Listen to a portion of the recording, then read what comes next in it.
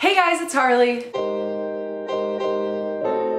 Today's video is going to be all about how I water my hanging houseplants. I do have quite a few hanging plants in my collection in my home, primarily because I have that canopy bed, which I've kind of filled up. I know it can be really overwhelming to keep hanging plants watered. Anyway, I'm gonna show you what I do. I do have my week of plant care routine video coming out next week. Here's a little like teaser, I guess, of my plant routine. Mondays are devoted to my hanging plants. So on Mondays, I only take care of my hanging plants. This seems to be a really good system for me and it's easy to manage. So that's what we're doing today. I know a lot of us like to put our hanging plants into macrames because macrame is so cute. If you want to put your plant in a macrame, I would definitely, definitely recommend putting a saucer at the bottom of it because otherwise when you water it, of course it's going to get all over the floor and then also the macrame will get wet and that can cause mold, which we do not want. Just before all of this, be sure to put saucers underneath plants that are in macrame. That makes it a lot easier to above the top water without having to worry about a mess. Just do it a little bit at a time so that you're not like overfilling it so the saucer's going to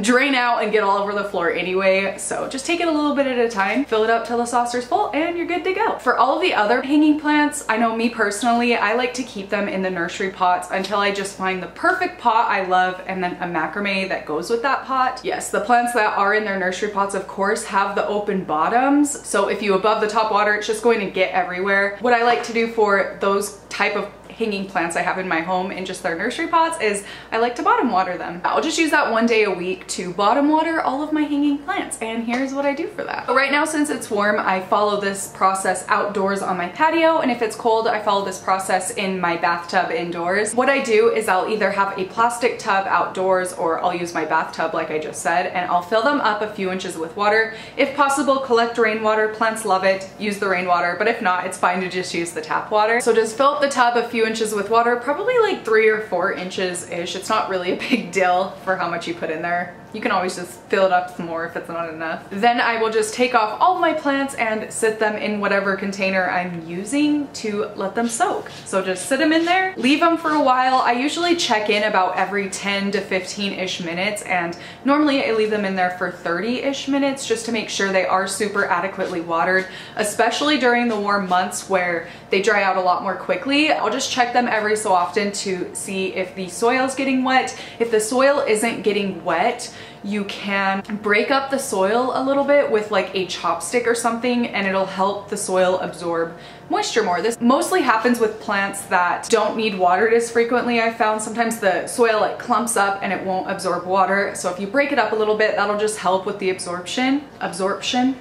The absorption of water. I'll let them soak and then I'll just leave them to soak until all of them have moist tops of the soil. So once you notice that the tops of all the soil is darker than it was before and it's a little bit damp, that is when I will let them dry. So if I'm watering them outdoors in the little plastic tub, I'll just pull them out of the tub, let them sit on my little patio back there to dry and let the excess water run out for probably a few hours. Um, you can also, sometimes I'll do this if I'm in a hurry and I don't want to leave them outside while I'm like out running errands or something. I'll just, I'll lay out a dry towel and put all the plants on them to help absorb any of that excess water so that it's not dripping on the carpet. That's a really, a lot more of, it's a lot, it's a lot more why, why can't I freaking talk? It helps the excess water drain out a lot more quickly this way, uh, but of course then you have a towel you need to wash, so if you have time, just let them sit out there and soak and drip and whatever and it'll be fine. But if you're in a hurry, use the towel. And then if I have them in the bathtub to be bottom watering, then I'll just drain the tub and let the plants sit in there until they're no longer dripping water. It also helps if you kind of pick them up and like bounce them a little bit.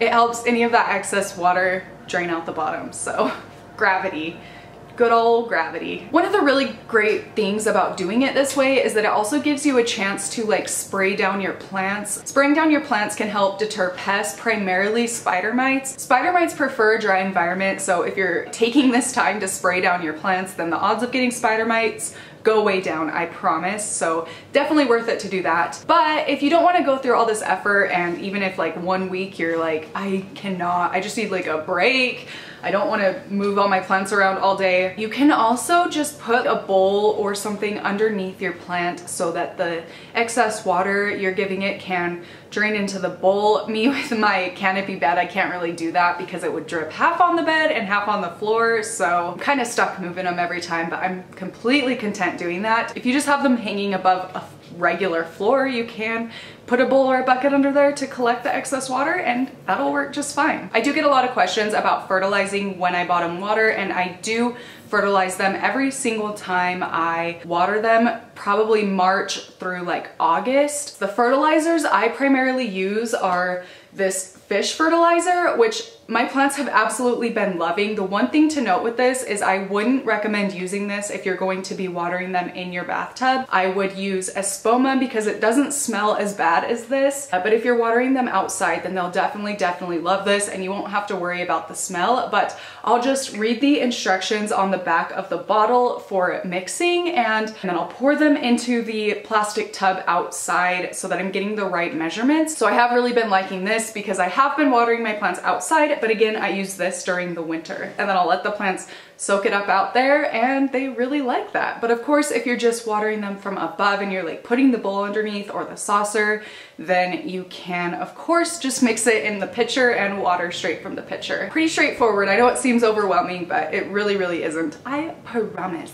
So I think that that is it for this video. I'll probably remember some stuff later on that I forgot to mention. I do that every single time I upload a video. If you have any additional tips and tricks for watering or fertilizing your hanging plants, please leave them down below. We would all really, really appreciate it. And then also, I wanna know how many hanging plants you have in your collection. I'm gonna go count how many I have. One sec, I'll be right back. I have 23 hanging plants in my collection currently. By the way, which I will also link the how I hang hooks from my ceiling video in the description box as well if you wanna watch that and make any of your like just standing pots, hanging pots.